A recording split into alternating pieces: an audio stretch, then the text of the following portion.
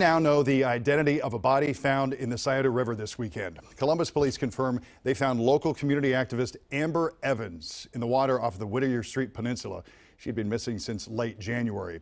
NBC4's Rob Sneed is joining us now live with an update. Rob, good evening. What have you uncovered for us tonight?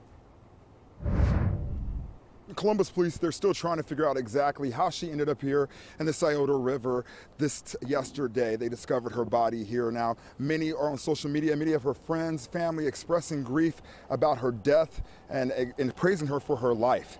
She's touched so many. Now, after nearly two months, the search for Amber Evans is over. Columbus police found the 28-year-old's body in the Scioto River. Soon after family members reported her missing, investigators say they found her car along the Scioto Mile after a dispute with her boyfriend.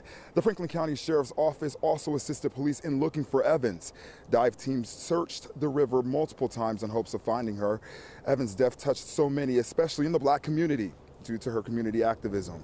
She worked with the Juvenile Justice Coalition since 2015 and was promoted to executive director. Now, just two days before her disappearance, Evans told her mom about wanting to go back to Paris to teach children how to speak English. Now, this was the last time Evans' family ever heard from her again. Of course, Evans' family, they tell us, they say on social media rather, that she that they plan on having a vigil for her here this Wednesday to honor her life. Local for you, Rob Sneed, NBC4.